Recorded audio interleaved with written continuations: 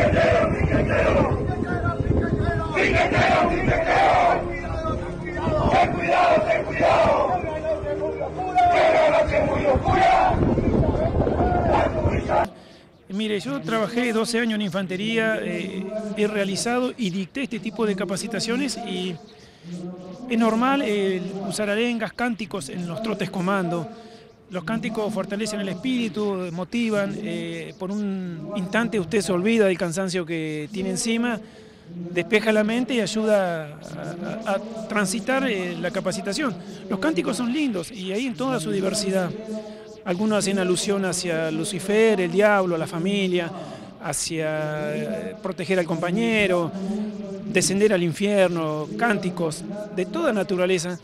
Y en este caso puntual se dio una particularidad, eh, iban cantando y siempre el, el, que va a cargo del grupo va designando quién canta, cante fulano, cante sultano, y hay que improvisar. Bueno, un muchacho improvisó esto y los compañeros lo siguieron, y ahí termina la historia, esa es la verdad de la historia. Yo lo que le digo que no tiene mucha entidad ese cántico. Yo lo que le digo, lo que le puedo aseverar, que confíen plenamente que el personal de la Policía del Chubut y de Infantería son hombres que trabajan ajustado derecho, tienen un apego irrestricto a la ley siempre, son hombres que se capacitan en el uso de la fuerza, su trabajo es ese, es un trabajo muy complejo porque donde operan es zona de crisis.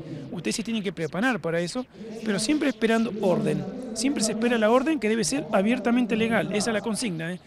¿Quién da la orden? Siempre el jefe de grupo. Eh, es difícil hablar esto. Es bastante largo, yo la puedo aburrir hablando sobre el adoctrinamiento, pero yo le tengo que decir que el, el funcionario que trabaja en estos grupos de choque siempre trabaja en lugares de crisis, tiene que estar preparado. Cuando usted interviene, cuando hace uso de la fuerza, eh, tres factores usted enfrenta, eh, riesgo físico a veces, riesgo judicial y riesgo administrativo. Entonces hay que estar con todas las luces prendidas, hay que estar muy preparado y conocer los principios esenciales del uso de la fuerza.